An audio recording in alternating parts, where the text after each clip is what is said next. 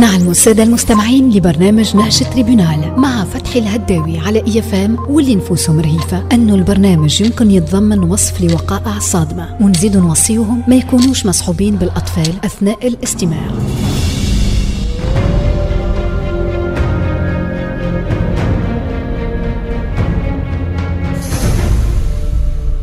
نهج التريبونال.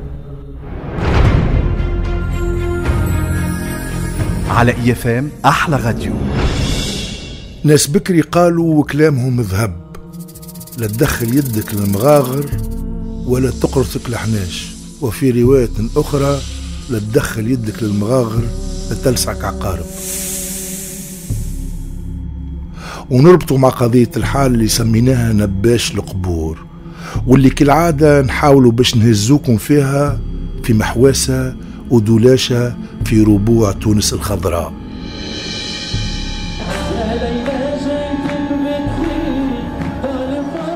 المرة هذه نهزوكم البنزرت أرض الجلاء أو فينوس إفريقيا كما لقبوها ناس بكري. والزمان فترة أول الثمانينات. بنزرت زينة البلدان. بلاد المناني وكسكروت اللبلابي الفنان. مقرونة الدار المشخشخة والشواري البنين وبحرها اللي داير بيها وشبوبية سجنان ماطر وجومين.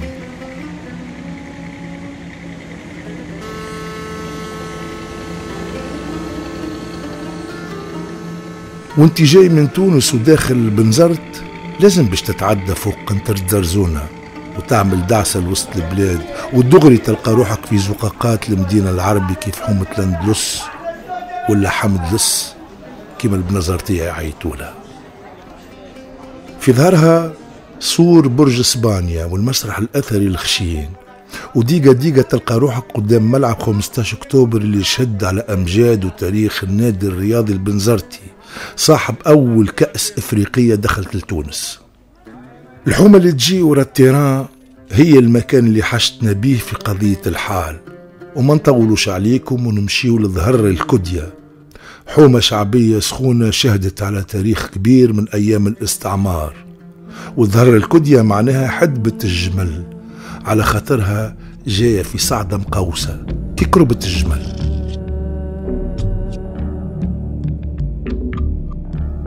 الشخصية الرئيسية الأولى اسمها خالد ولد 17 سنة. يعيش مع خالته ورجلها وبناتهم الزوز اللي أصغر منه. أم خالد وبوه حبوا يتفردوا نهارتها ويخرجوا يحوصوا شوية وحدهم بلاش خالد اللي كان بيبي شكاع وديما يبكي. شدوا ثنية مثلين طريق راس الجبل باش يعملوا محواسها في القرية. وهذه واحدة من الأماكن الشبابة اللي تسلب العقل. أم وبوه عملوا أكسيدون في ثنية المرواح وتوفاوا على عين المكان وما رجعوش يهزوها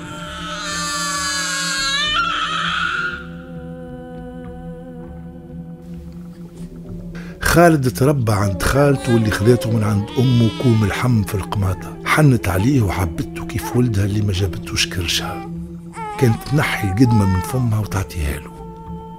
رجلها الهادي كان عكسها تماما. يكره خالد ويبخر بريحته عمره ما دخل لي لباله ولا لقلبه وفما علاش السيد هذا سكير عربيد وطبيعه خايبة وديما مترصد لخالد وشدد له قول. وصل يضربه بسبب ومن غير سبب ويخرج فيه الغل اللي ما نجمش يخرجه في بوه قبل. على فكرة بو خالد والهادي ما كانوش صحاب وكانت بيناتهم مشاكل ورث. ورث متاع دار نساهم الزوز واللي هما توا عايشين فيها هناني بناني لا يدفع لا فرنك ولا خروبة. خالد من صغره كان فايق وحروكي وما يركحش. جن أرقت وما يرشفها لحد.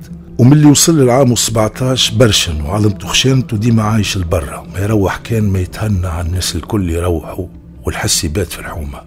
ليلة من الليالي هو مروح للدار باش يرقد يتسرسب على طرطش صوابعه باش ما يعملش الحس.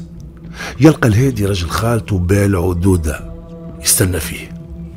على فكرة بيته مش بيت على بزه معناه كيف ما يتمناها كل مراهق في عمره.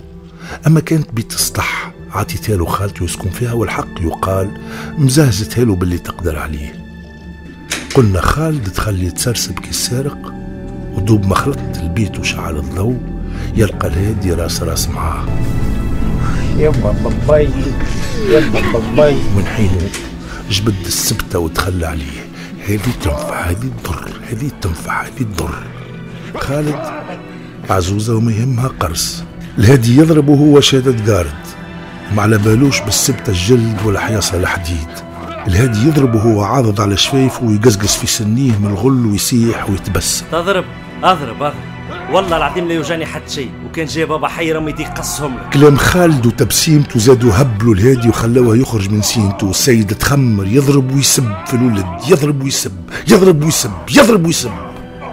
خالد سمع السبان تحول وذنيه وقفوا عينيه وساعه وقلبه ولا يضرب في الميتين. وبقهر السنين والظل اللي عايشوا فيهم الهادي يوخر ويقدم ويعطيه راس محبس في عينه قص عليه الضوء جملة وجابوا ممدود فوق البنك اللي بطبيعته يعدي في آخر أياماته وتقسم بيه في زوز. ومن الفجعة خالته وبناتها الزوز طلعوا يتجراوا البيت ومن اللي خالته بداوا يغوطوا. ووهو ووهو بابا مات بابا مات. ووهو راجلي مات. ووهو. الهادي ملطوخ كالثور في القاعة والدم ينز. وخالد جبد كرسي وبنك في الكوام تاع البيت. شعل سيجاره وقعد يتمتع بالمنظر اللي تمناه عنده سنين. بعد قام ونسيت تباكى هالساك حط فيه جروده وباس خالته من راسها واستسمحها وسرحها على روحه. وهي المغبونة تبكي. يا ويلها من راجلها المدمدم ويا ويلها من ولد أختها اللي مل وصبر وفاه من ظلم راجلها. وقرر ليلتها باش يفارقها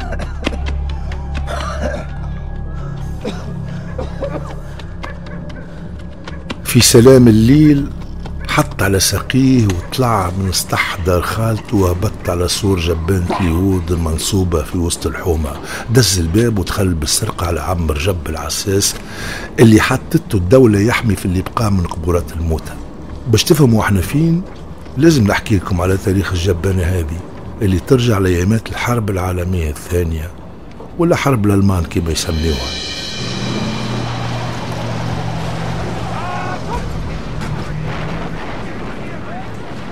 هتلر كيف هد على فرنسا بجيشه العرمرم كان يلوج على اليهود غادي باش ينتيهم.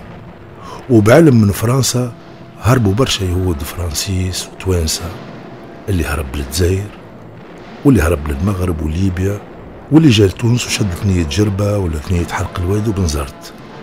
فرنسا قررت من بعد تبني الجبانة هذه للجالية اليهودية الموجودة قلنا في بنزرت وتحديدا في دار الكوديا ومن نفس الحومة تجينا الشخصية الثانية وهي حسان شهر كاي كاي. يجي ولد عم رجب عساس جبانة اليهود والإنسان اللي قايم بها ينظف ويعس على قد الجهيد. كاي كاي وخالد قراوا مع بعضهم في المكتب من بعد دخلوا يكوروا في النادي الرياضي البنزرتي وكانوا متشابهين في الطبايع. زوز فروخ طايرين ومهفات. في عمر 17 كان عندهم العت وعاملين باك وما عملوش اللي مكهب على الأربعين. الزويس كانوا سارحين في البطاحي.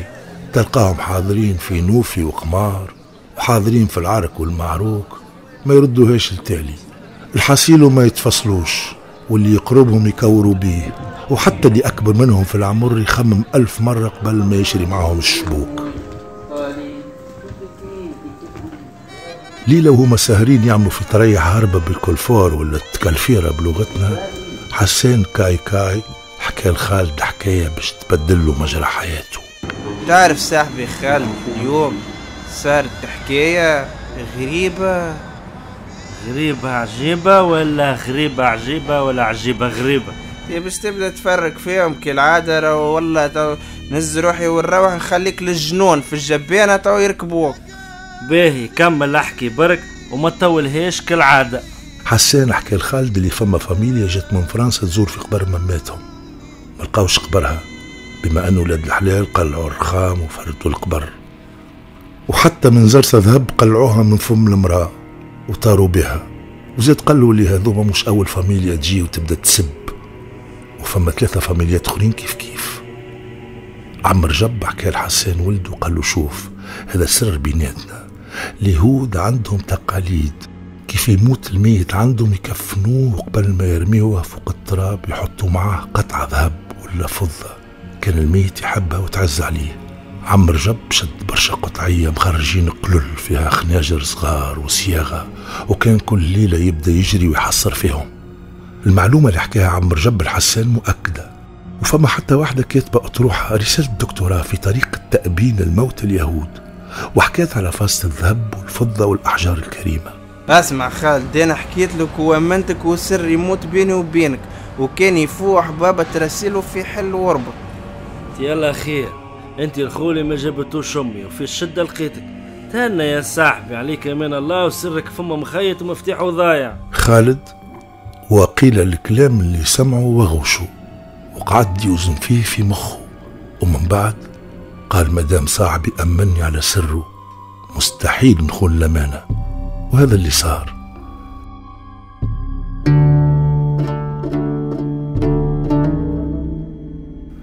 خالد ملي خرج من دار خالته ما عادش عنده بقعة يبات فيها. المدة الأولى قصد بيت ربي وحكى مع إمام الجامعة متاع حومته اللي قال له تنجم تبات نهايرين من بعدهم لازمك تتصرف وتلقى سكنة. وكيف كملوا النهارين؟ قعد من بقعة لبقعة. مرة يبات في جردة بنت الري في وسط البلاد ومرة في حظيرة.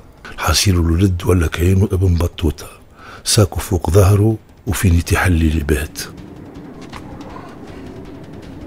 ليلة والحال خريف مخرف والسقعة تشوي.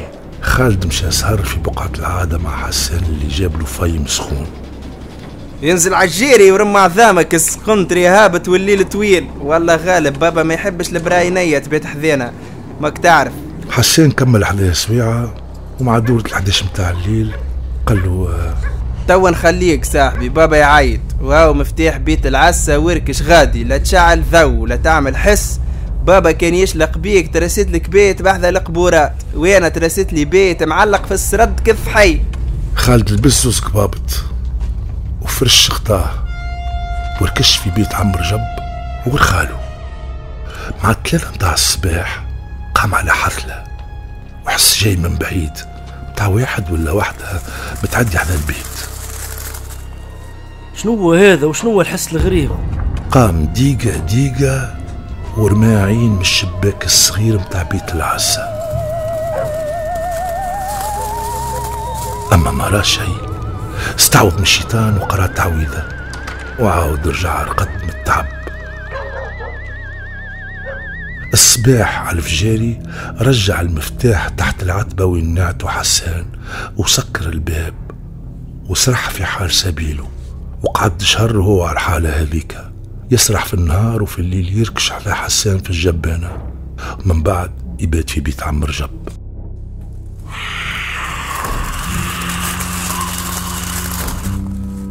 نهار سبت مخر في الليل وهو راق تسمع نفس الحثلة نقز من فرشه تقول عاد توقع في زمانه. من بعد على ثلاث صوابعه مشى للشباك وشاف شوفة غريبة. راجل كبير شعره أبيض مفوش قاعد على كرسي متحرك. بجنب قبر وكأنه لوج في حاجة. خالد جمد وعرق الغلبة هبطله قطع النفس وقعد يتبع من بعيد. الراجل كمل فرت من بعد خمر الدنيا واندهى بكروسته وهو راكب فوقها عجاجة. مخلي وراه العجاج. خالد قلبه في الميتين وما تهنى كان ما بات الحس وقعد مسقعر. العين فنجان. وما تهنى وتمان إلا ما الصبح شقشق وربلوت رجع المفتاح خمر الدنيا وسرح في حال سبيله. شد ثنية القهوة قهوة الحومة وركش غادي سويعة من زمان وحسان كان حذاه. عملوا كابيسان من بعد سرحوا مع بعضهم يسترزقوا في سوق القمل. مارشي وبوس وهذا السوق في قلب بنزرت فيه كل شيء حتى حليب الغولة تلقاه. ملي وصلوا عملوا دورة وعكلة على التجار والنصابة فماش شكون يحب حمالة ولا براحة وهات برك نقبل عليك ونخدم اللي يجي المهم الباحيم صحراء. صحراء وضاربها الشياح. الزوايد شدوا عتبة الجامع في فم باب السوق وقعدوا يكحلوا من بعيد ويقيسوا في اللي ماشي واللي جاي. هكاكا وخالد نقز من بقعته قام تقولش عليه ركبوا جن. هيا هاك هنا درج ونرجع لك صاحبي. خالد مشى شوية وشد فران قدام نصبة متاع راجل حاطط كرذونة ورامي فوقها خلخال ذهب طرف شرك فضة وحويرة خواتم أنتيكا خالد عمل عينينا ورجع لحسان تبعني وما تركزش برشا معايا وما تتكلمش قدام الراجل ودوب ما نكمل. تو نحكي لك على الموضوع. حسان يسمع كلبو هالي ومش فاهم والو. أما ما عكسش خالد وعمل باللي قالوا عليه. خالد خلى صاحبه حسان بها يثبت في الشاي مش فيها مش قال المروكي. ومشى للنصبة الله يعينك بابا. لكن الخاتم لكحل اللي فيه نجمة للبيع. أي ولدي يا مرة وغالي شوي. حقه عشرين دينار. يا ليش عشرين يا حاج؟ يا أخي مصنوع من الياقوت. القطعة هذه ذهب ذوق 24 ومزينة بالحقيق لك حل. الخاتم يا وليدي زمني وعزيز على ناسه. شاري ولا تسيروا برا. يا حاج شيري وفلوسي حب على الطاولة. أما قل لي شنيا النجمة اللي فيه؟ نقول لك ولدي ولا كيفاش؟ النجمة هذه نجمة داوود والخاتم يسميه خاتم سيدنا سليمان. واخواتنا اليهود يناديوا له ماجن دافيد يعني درع داود خالد يسمع ويدوح في راسه حسب روحه فاهم وهو باز ما فاهم والو. وزيد مكتوب ومنقوب حتى 100 فرنك حق كسكروت ما عندوش. خالد رجع الخاتم فوق الكرذونة وقال للشايب الجملة السحرية اللي يعرفوها التوانسة الكل ويستعملوها كيف يحبوا يسلوها جوينية. هيا نعمل دورة ونرجع لك بابا. خالد غمز حسان وقال له انده ورجعوا ركشوا في القهوة. حسان قتلوا الفضول وحب الاطلاع. ماذا بيه يفهم اللابز ومن اللي خلته تمشي يا خالد شبيك مريجة تحكي شبيك موسوس تقول ريت عفريت. مش عفريت يا عشيري أما الجن الجبانة اللي حكيت لك عليه عندي جمعتين تفكرتوا؟ بابا البارح شوية لبيتني في الشارع على خاطر وصاني نشري إيتر حليب ونسيت. وانتي تدخل لي جمعتين التالي الراجل اللي على الكروسة بربش القبور تفكرتوا هو بيدو اللي صفتهولك. تتفكر ماوش قلت لك؟ راجل كبير شعره أبيض مشعشط وراكب على كروسة. إيه شنو المشكل؟ قاعد يسترزق كيف أمة سيدنا محمد الكل. إيه يسترزق متفاهمين. أما شفت في يبيع ما يا أخي لازم نقول لك هنا بير. برا برا توا فهمتك. تحب تقول لي القطايع عجبتهم القبر؟ يا عيني عليك صاحبي حسان. ولا المفتش كعبورة خير تي ما قول لي من الأول برباش القبور باش نفهمك راني ذكي ونعجبك. هي ما قول لي تو من الاخ فيش تكنبس ماني نعرفك. ما ترتاح إلا ما تعمل مصيبة وأنا نمشي كالعادة في السقيم خالد عمل جبدة من السيجار وسرح في أفكاره من بعد قال لحسان اسرح على روحك أنت تو وأنا لازم نتأكد من الحكاية. وهاني باش نتبعوا الليلة. ملتقانا في ركشة العادة. ورا سور الجبانة وتو نعطيك بحث صاحبي. خالد رجع لعتبة الجامعة اللي في سوق القمل وقعد يقانص في برباش القبور من بعيد من غير ما يشلق. جاء العصر. دخل المغرب. وهو متسمر وعينيه مرشوقة في الشيباني وقطايع الصياغة اللي فوق الكرذونة أذان المغرب قام وبرباش القبور لما القطعات رماهم في شليقة قماش وسكر عليهم توا كرذونته وساق كروسته وغاب في الزحام هذا الكل خالد عينيه عليه ما تهزتش وشد الثنية وراه بيت بيت دار دار زنقة زنقة الشيباني كان يعزم وسريع بطريقة غريبة هاو دخل في حظبة هاو طلع في صعدة والولد خالد بلحوح وطلع من الدخان اللي سف فيه وغمله على قلبه وفي لحظة ما عادش ينجم وهبط على الركايب وقعقع كي الجمل اللي رجع في النفس على هزة راسه شيباني دخل في زنقة ضيقة من زناقي باب الجديد والناس اللي تعرف بنزرت مليح وخاصة المدينة العربي متاعها تعرف لي البقعة هذه عبارة على متاهة. واللي يدخل غادي يدوخ ويحير وينجم يعدي نهار كامل وهو داخل خارج من زنقة لزنقة. وكيف يفرح في باله سلكها يلقى روحه في نفس البقعة اللي دخل منها. الحصيل خبيلة. خالد دار يمين دار يسار ما لقاش شيء. الشيباني كسر به تكسيرة نتاع كريستيانو رونالدو وقال له كانك راجل وعندك كرعين جيبني. خالد سأل الحومة الكل على الشيباني مولا الكروسة والنفع الله. حد ما جاب له خبر ولا اعطاها الصحيح. والكل كيكسو. فما اللي طفاه وزاد فيه وفما اللي مهما باش يتكلم ومن بعد بطل ومشي على روحه. خالد بفتنته حس اللي هو وصل للشيباني.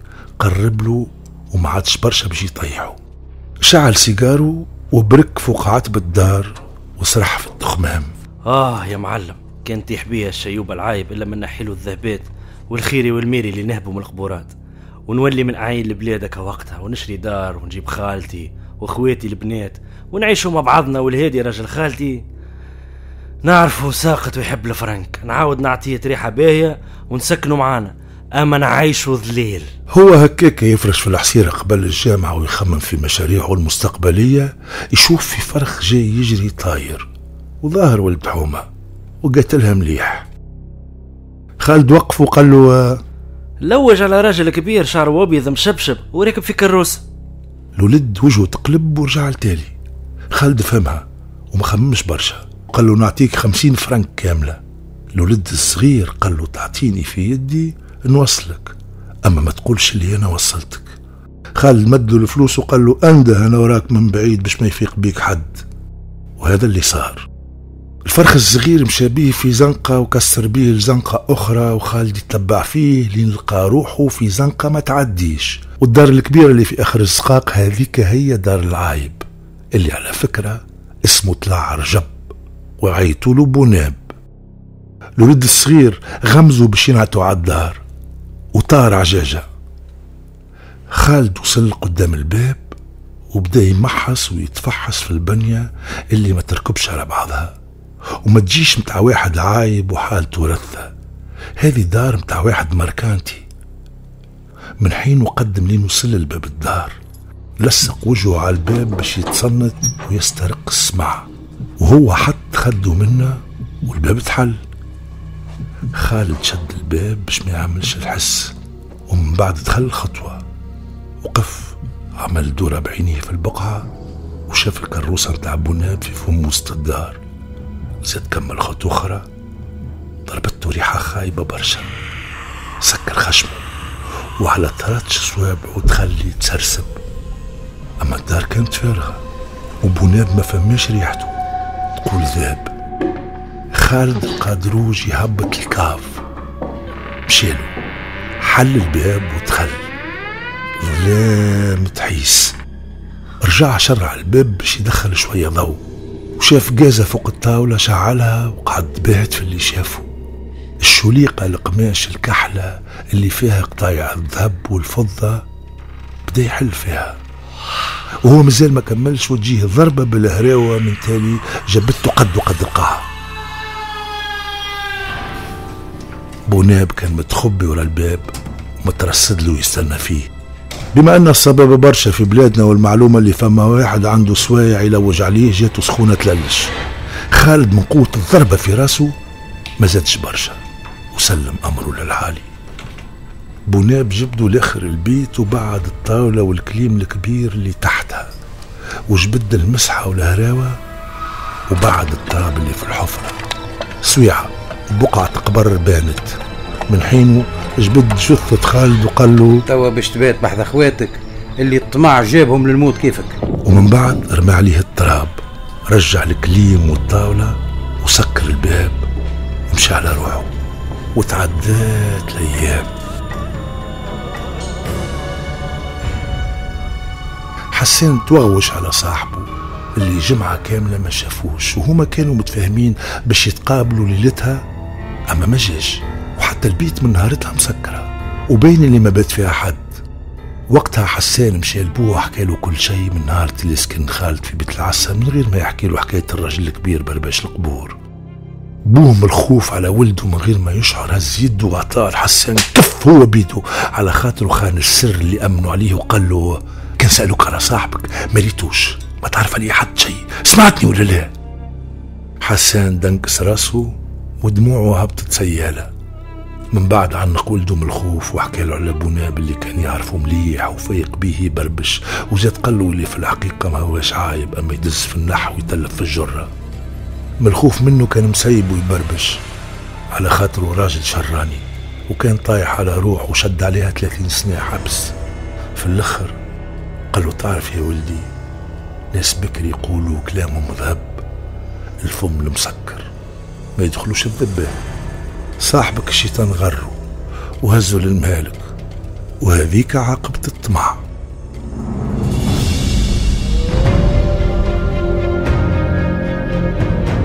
قضية اليوم من نهج تريبونال دراما نص رؤوف العياري.